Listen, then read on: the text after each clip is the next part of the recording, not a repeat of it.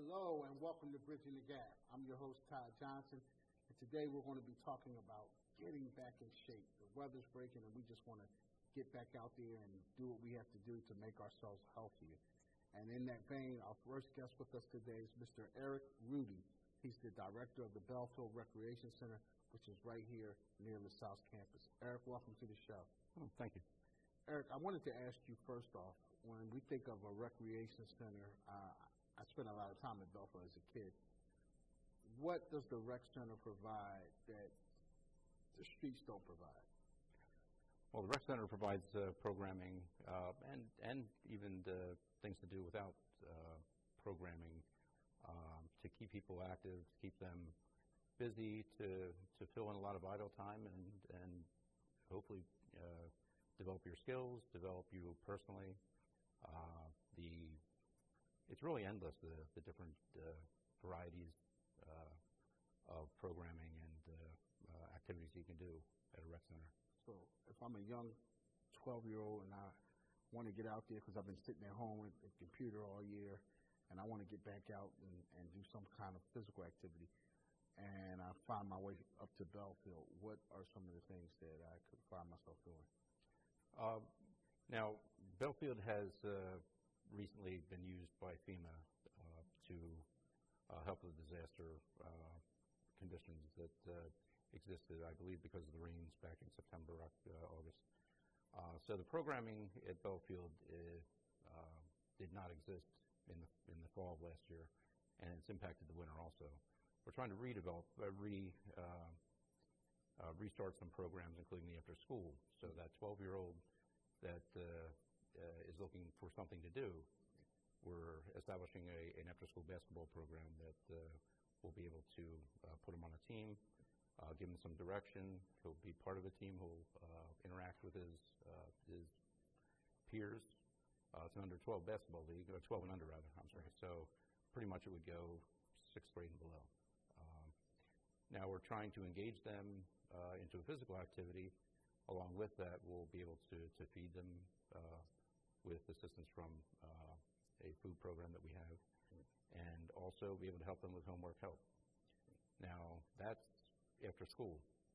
Uh, and that's that's the bare minimum. We're trying to uh, not only have an after school, but have other activities during uh, the, the the time that's after school before six o'clock. Right. Now after six o'clock, we have a uh, basketball. Uh, there are basketball leagues that uh, that use Belfield, right. and there are leagues that we will be running. Um, at present, we don't run the league, but we have three leagues that are going to be using our, our facility between the hours of six and nine o'clock roughly. So I haven't been up to Belfield recently. It's been a, a little while, not very long, but uh, I was told that you all are going to be doing some restructuring, reprogramming. Could you give us a, a purview of what that's going to look like? Well, I, again, the sky's the limit with this. Uh, I have a lot of diff- a lot of varied experiences, and uh, so there's a lot of different things I'd like to do. Um, now, there's programs that we have there right now uh, for dance, for uh, other performing arts. Hmm. Uh, let's call it you know some exercise classes, a taekwondo, but we want to add other things involving visual arts. Visual arts meaning something that's fixed, you know, painting, right, ceramics, you know, other things like that. Uh, I'd like to have uh, part of our program represented by some of the visual arts. Uh, and also some other uh, some other sports. Try to vary that. Uh, some of the sports we're looking at uh, are include volleyball. Uh, I guess it would be considered a sport, uh, ping pong. Now, if you go to, to Asia, it's a sport. Right. Here, it seems to be just a, a way past time. Right. But uh, there are some some really good players in the city uh, that remember 10 years ago, maybe when they they had uh, more ping pong uh, playing at the rec centers. Now, at Belfield Rec Center, I know it's different from many rec centers. First of all, let's let our viewers know where you're located. You're at the corner of 21st and Chew. 21st and Chew. Um, it runs for two blocks. It's not two full blocks, but uh, uh, one block has uh, that borders Chew has a rec center that has a full-size gym, has a kitchen, two meeting rooms, a- a room that we've set aside for a game room, another room we set aside for a dance room, and a third room we set aside that has computers. And we're going to be using that, uh, you know, as, as part of our after-school, but also uh, for other programs that I'd, I'd like to get involved in, uh, one being robotics. Now, outdoors, I know you have a uniquely different rec center in that you have a pool, Mhm. and across from the pool, there's a full-fledged baseball field. There is a baseball field. The, uh, there's one group that plays on it uh, uh, Mondays and Wednesdays. They have a softball league. And uh, we're going to get our, our ball field redone. It w- it should be within the next month. Wow. And so, you know, we're going to make it look nice, and hopefully if we build it, they'll come. But, uh, you know, we'd like to start a smaller program, too, for, uh, for kids. With, uh, if we started a T-ball, maybe we can, you know, in, say, five years. We look five years down the road, maybe we can say, you know, there's so much going on at Belfield because of, you know, how we invested in the youth, the young youth, the, the five-year-old, the, the, six-year-old. You have a pool, too. Now, is We that a pool. a full-size pool? Uh, the pool is, uh, uh, it's got a maximum uh, depth of five feet. So, and it does have a smaller uh, end to it. So, uh, it's it's good for, for kids and adults. Now, there will be a swimming team.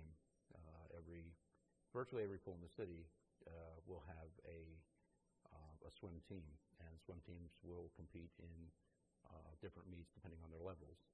So you, the kids who live in that area can come and compete and go out for the swimming team? Right, we'll, we'll have a, yeah, anybody that's in the Belfield area uh, will be able to come, and generally it's going to be four to five o'clock uh, for swim team practice. Hmm. And uh, somewhere in about a month into the season, we're uh, going to be doing some uh, some meets. Uh, we'll, start off with a district meet. Now, the district, there's eight districts, uh, recreation districts, recreation park districts in Philadelphia. We're one of eight, so we'll have a district meet, and then uh, we'll have a, uh, a citywide meet after that.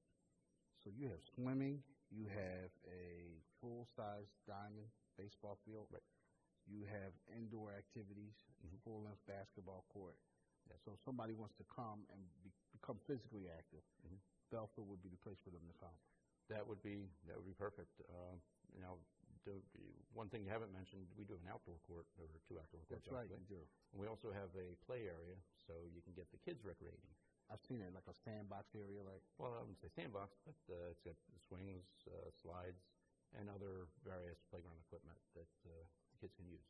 so every child, adult, even senior adults, they can come to Belfield and they'll be able to find something or some type of activity to do. Now, the Taekwondo, those are, you have Taekwondo classes? That, that's a separate, that, that's an instructor. Now, we rely on, uh, a, lot on uh, organizations coming to use the space that we have. We don't have enough staff to run all the activities. So we really appreciate having volunteers uh, come and say, you know, I've always wanted to do a dance class. I've always wanted to do uh, an exercise program. I always Hmm. wanted to do this or that. You know, whatever they want us to do, we'll probably be able to work with them. Now, I- will say that uh, if, if we can get the word out, I'd one group I'd really like to, to approach is uh, the older generation, the generation that knows what it's like to be at Belfield, Right. uh, the generation that uh, that probably needs more interaction, and uh, you know they, they that be my age group? Oh, well, older than maybe. Okay, because I'm 23, so I thought that my age group was yeah. But the, the, no, I'm just kidding. I'm 25.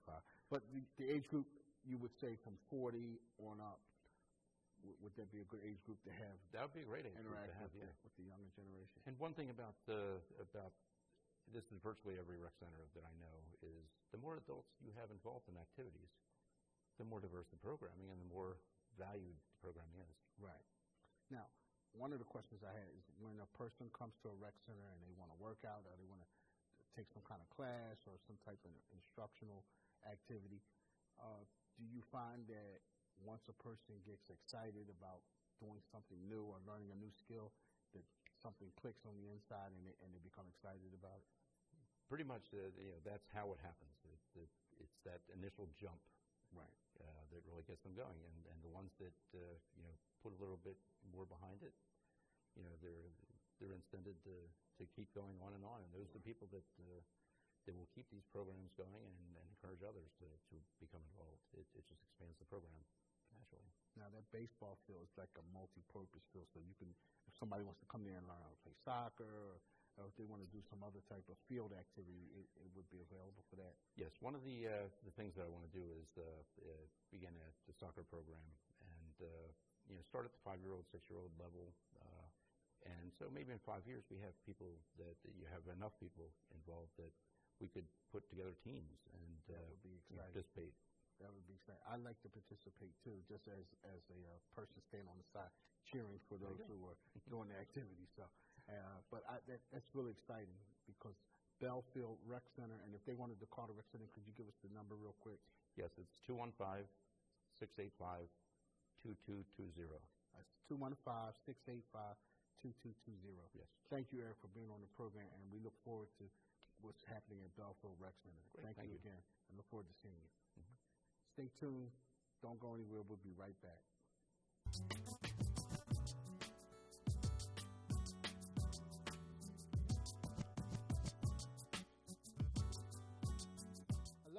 Welcome back to Bridging the Gap. We're discussing about getting outside and getting active and getting yourself all revved up to get in shape. And so we have with us Seth and Linda. Would you guys introduce yourself and the organizations you represent? Linda. Oh, hi. Uh, Linda McRain. I'm from Bicycle Club of Philadelphia. And Seth. Seth Weiss. Uh, I'm from Philly Runners Running Club. Okay, so from that, our audience can kind of get cycling and running. Those are two, I would say, great exercises. Starting with you, Linda, cycling. How did you first get involved in cycling? I started cycling um, in high school. I started riding my bike with my dad, who started cycling uh, for health reasons, for fitness reasons. And he and I started riding together. I joined the Bicycle Club of Philadelphia in the early 1990s. And the Bicycle Club has, was founded in 1979. So it's been around for a long time. Wonderful. How about you, Seth? How did you get into running? I started running in uh, ninth grade um, in about 1989 to uh, lose weight and uh, general exercise, health, and fitness. And I joined uh, Philly Runners Running Club in 2002. Uh, the club at that point had only been around for six months, and now we're about to celebrate our 10 year anniversary. Wonderful. Now, guys, uh, for our viewing audience who might want to take up something recreationally, what would you say to them to, if they say, well, I don't think, I think bike riding, I think that's something I can handle. What suggestions or tips would you give to a beginner? Well, uh, for a beginner, I would suggest um, visiting our website, phillybikeclub.org, um, and search the website. We know we have rides for all levels of ability, from A, which is advanced, to D, which is novice for novice riders, and we have A, B, C, and D levels. Um, there, if there are any questions, you can send an email to info at phillybikeclub.org and look at the ride schedule and look for the rides that are advertised as D or novice level rides. Uh, every ride on the ride schedule should have the leader's name and contact information. So you can always contact the ride leader to find out more information about that specific ride. Also on the website, we have information on what types of things to bring on a, on a group ride. Obviously, you need a bicycle in good working condition. Aside from the bicycle, the next most important thing is a helmet. You must wear a helmet. And other necessary items, um, water bottles, snacks, uh, spare tube patch kit. If, if it's been a long time since you've um, experienced physical exercise, you might want to get a physical with your physician, make sure you're in good enough health to, uh, to exercise outdoors. Um, but really research the website, uh, and- there's a lot of good information there. You would also uh, want to want to take your bicycle to your local bike shop to make sure it's in proper mechanical working order. Thank you. That, that's some excellent tips. How about you, Seth? If somebody says, well, I want to get out there and start jogging again. The first thing I'd say is make sure to have a good pair of running sneakers. Um, general recommendation is you replace your running sneakers every three to 500 miles. Um, I would recommend if you're just starting out and you don't even have a pair of running sneakers, get running sneakers at a good running store where they can check you out and figure out what kind of shoe you need, as opposed to just a, a general store that happens to sell running sneakers. Give, give me an example. What kind of store? Um, a running specialty store that sells mostly running clothing and running shoes. Um, there's a few in town, uh, such as Rittenhouse Sports and Philadelphia Runner, not to be confused with our running club, Philly Runners. And then there's, there's one up on Fairmount now, Fairmount, Fairmount Running Company, I think. Those really specialize in runners and running shoes, running apparel. Um, get yourself a good pair of running shoes. Check out our website. Um, What's your website address? our website is phillyrunners.org. Uh, email is info at phillyrunners.org. The emails go to me. And we have, we have maps, we have running tips, we have a uh, page on uh, running safety. All of our runs are open to runners of all abilities. Come out and run with us. If you've never run before, that's okay. Come out and do what you can. And, um, you know, I think pe- people who come out on a regular basis will quickly improve and find that they're pretty quickly running with the rest of the club. Interesting. Now, Linda, for somebody who wants to take up cycling and they want to do it for exercise, let's say they want to lose weight, they want to have a healthier life, how have you? How has it benefited you personally from a health standpoint? bicycling um, and joining the bicycle club is one of the best decisions I've ever made because bicycling itself is obviously very healthy exercise, physical exercise.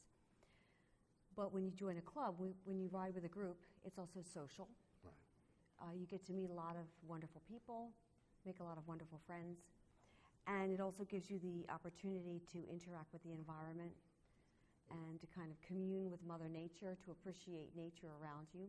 So, for example, this time of year, I believe we're in the middle of the Cherry Blossom Festival, which uh, is i along the river drives in Fairmount Park. Right.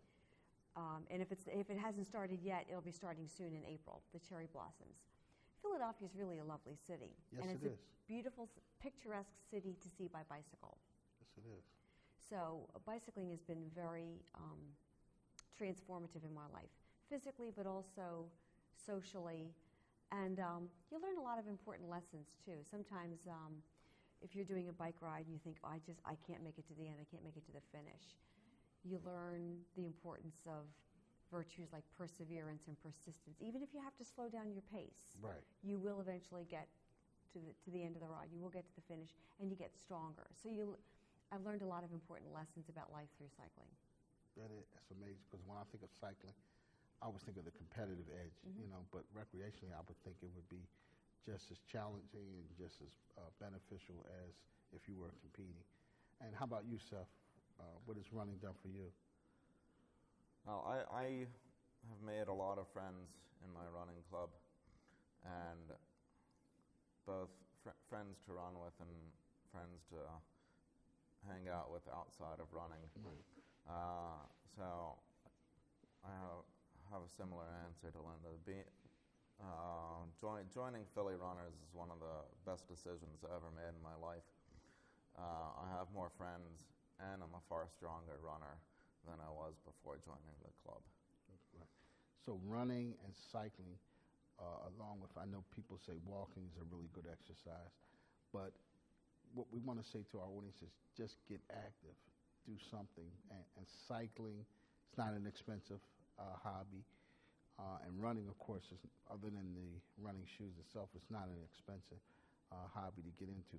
But one of the questions I have for the both of you, Linda, you first, and then you, Seth, has it been your experience that people, uh, I read a statistic that 40% of the people in this country are obese, and 60% of the people in this country are overweight.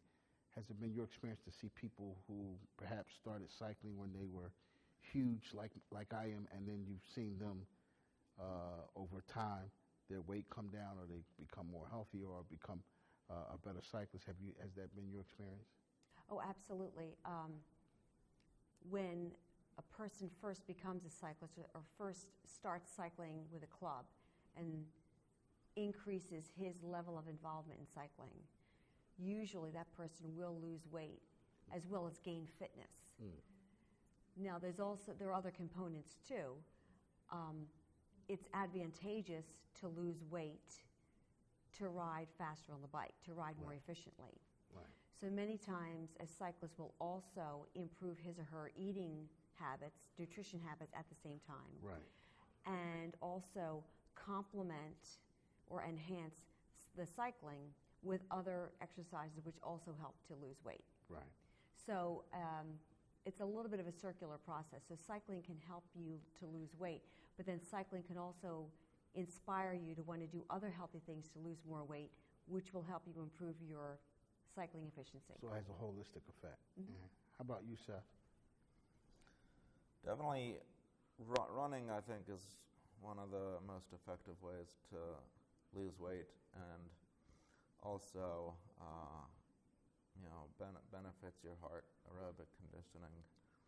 Um, likewise, the, the more you run, the less time and the, the, you're not going to want to do other things that are unhealthy because if you really get into running, you'll find that these other things, excessive drinking, excessive eating, whatever, interfere with your ability to run. We have a run every Saturday at 9 a.m.